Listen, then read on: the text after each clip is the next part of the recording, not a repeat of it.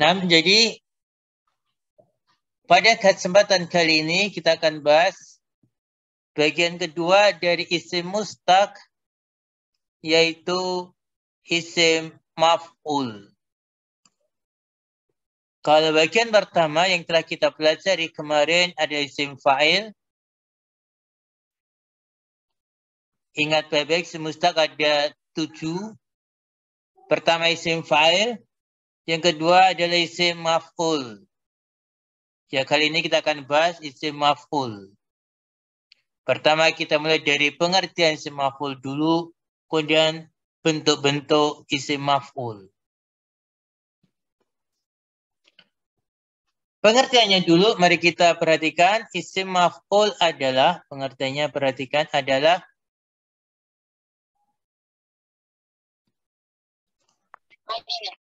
adalah isim mustaq.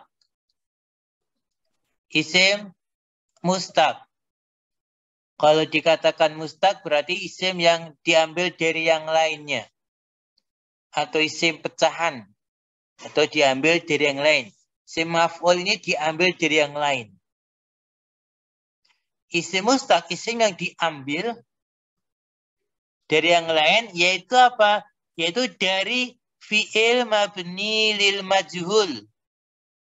Fi'il mabni lil majhul. Terus untuk menunjukkan kepada pihak yang dikenai pekerjaan. Untuk menunjukkan kepada pihak yang dikenai pekerjaan. Di sini perlu kita camkan lagi tentang apa? Tentang apa yang dimaksud dengan fi'il mabni lil majhul.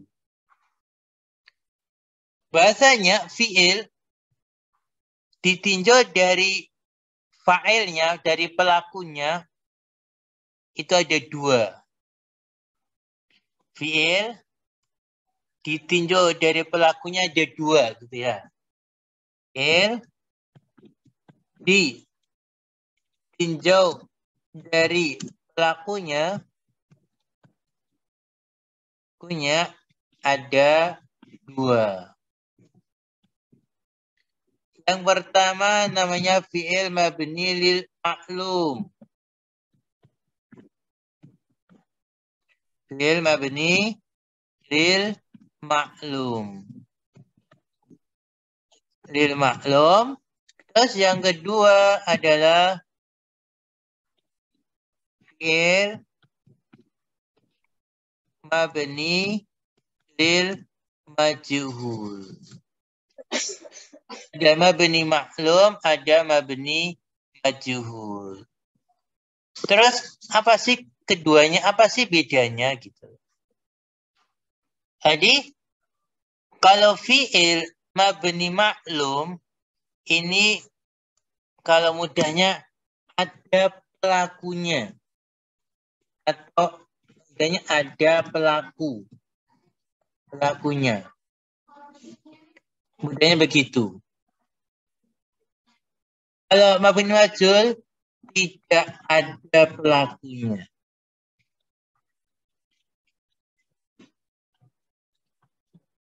Jadi ada pelakunya.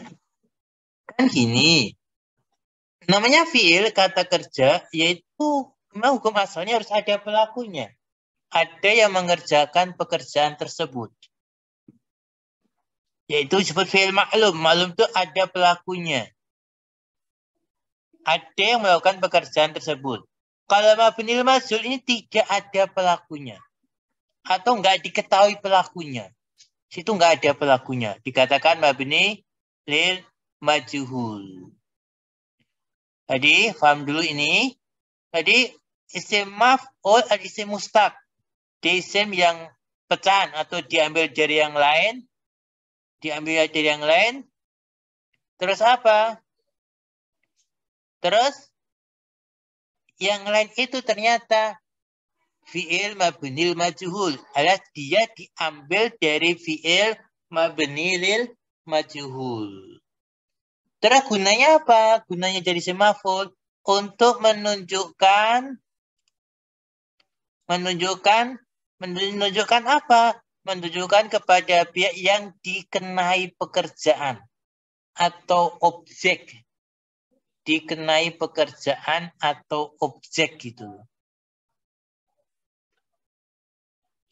Jadi dia dikenai pekerjaan atau objek. Kita lihat contoh di sini, ya. Kita lihat contoh di sini.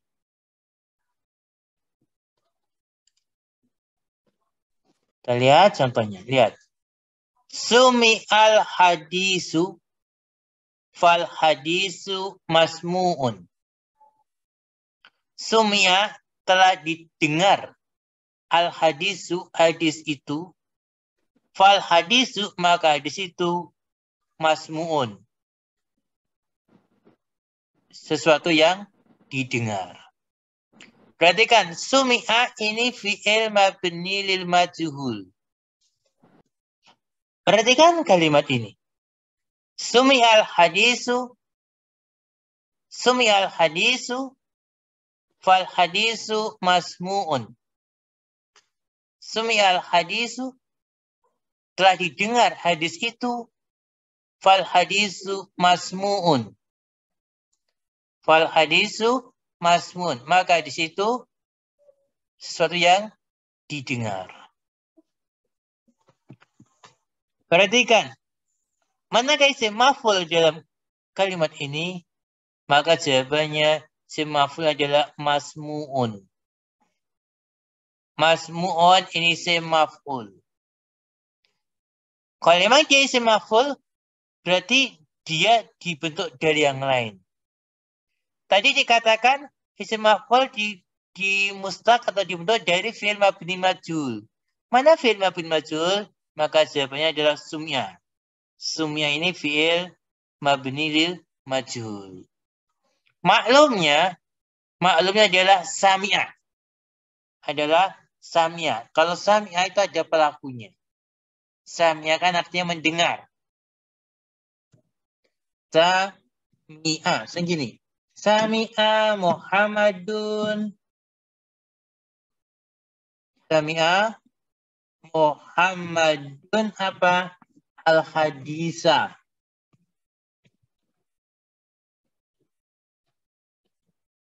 Sumia Muhammadun al-Hadisa. Muhammad telah mendengar hadis tersebut.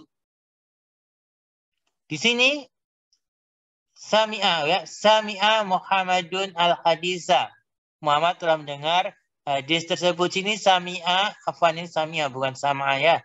Siapa saja dulu biar nggak salah. Adalah Sami'a.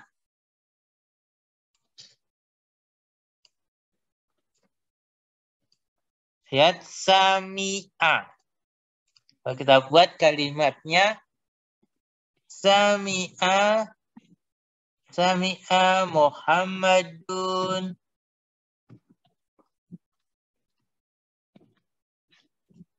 Al-Hadisa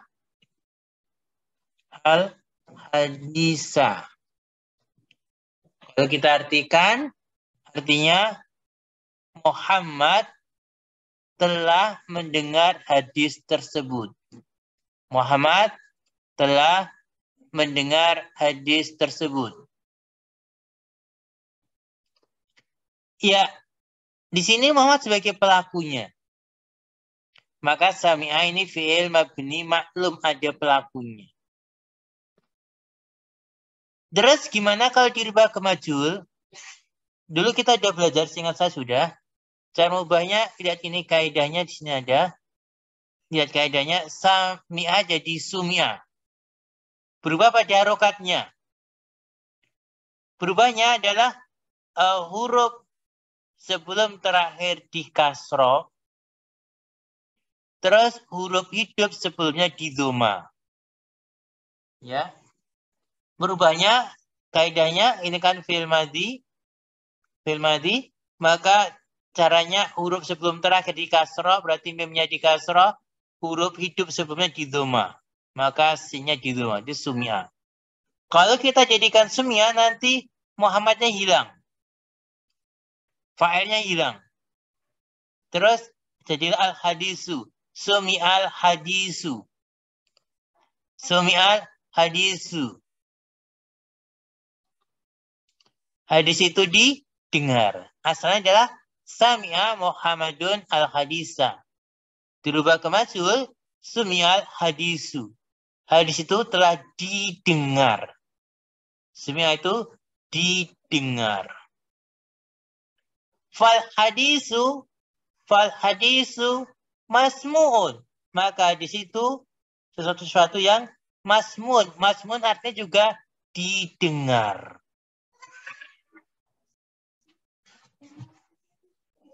Ada juga didengar sama aja. Mabnil majul dan maf'ul, isim maf'ul itu artinya sama. Semia didengar, masmu'un juga didengar. Kenapa kok bisa sama? Ya emang isim maf'ul ini terbentuk dari fi'il mabnilil majul. Dan ada cara yang lain bagi yang belajar tasrif ini pun bisa kita ketahui dari tasrifan. Kita lihat ya. Itu kan film madinya kan sami'a. Sami'a. Kita lihat ya, tas, kita tasrif. Sami'a. Mudoreknya adalah yasma'u. Sami'a yasma'u. Terus asarnya adalah sam'an. Terus isim fa'ilnya adalah sami'un. Isim maf'ulnya adalah mas'mu'un. Dalam tasrifan kan begini. Mas'mu'un. Bisami ayasma'u sam'an sami'un masmu'un isma la tasma. Kan begitu dalam tasrifan. Itu kalau kita pakai kaidah tasrif tinggal kita hafal ketemu. Nah. Kembali ke sini. Jadi masmu ini kalau dari tasrifan dari di sami'a kemudian yasma'u sami'a. Yasma'u sam'an. Sami'un. Masmu'un. Perhatikan. Maka kata masmu'un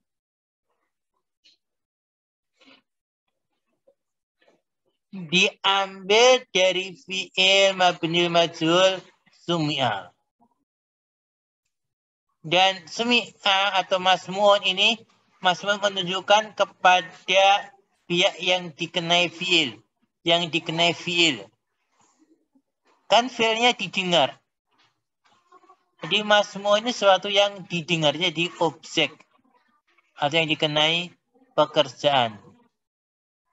Misalnya kalau kita bilang contoh yang lain, misalnya madrubun yang dipukul. Berarti yang kena yang kena pekerjaan memukul. Maktubun yang ditulis. Kemudian lagi misalnya mansurun yang di tolong. Sudah kita berikan contoh yang lain ya, biar jelas ya. Contohnya banyak. Misalnya, contohnya adalah maktubun.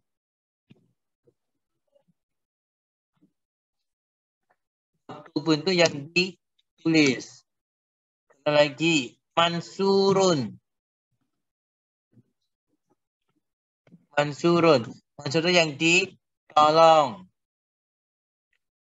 Selagi makulun. Maktulun. Itu yang dibunuh.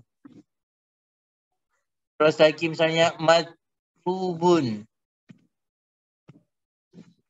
Madrubun itu yang dipukul. Dan yang lainnya. Inilah contoh-contoh isim maf'ul. Sangat banyak contohnya. Jadi mohon perhatikan dulu eh, makna dari isim maf'ul. Kesimpulan kesimpulan eh, kalau kita ulang lagi, isim maf'ul adalah isim mustaq. Ingat isim mustaq maksudnya isim yang dibentuk dari yang lain, dibuat dari yang lain, atau dia pecahan dari yang lain. Ya dia diambil dari film mabnil majhul gunanya untuk menunjukkan kepada pihak yang dikenai kerjaan, dikenai pekerjaan. Ya. Contohnya ini hadis sumiyal hadisu fal hadisu masmuun. Nah.